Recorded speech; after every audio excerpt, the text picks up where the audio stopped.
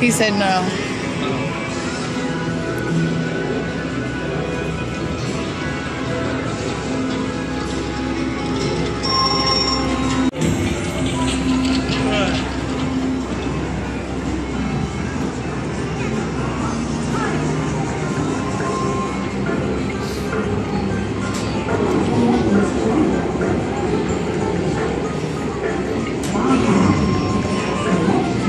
Thank you.